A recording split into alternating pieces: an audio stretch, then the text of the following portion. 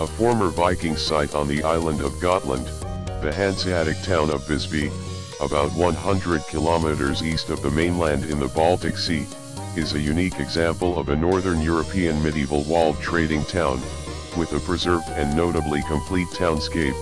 and assemblage of high-quality historic structures from the 12th to the 14th century. Together, these elements graphically illustrate the form and function of this type of significant human settlement,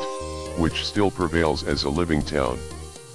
It is the best preserved fortified commercial city in Northern Europe,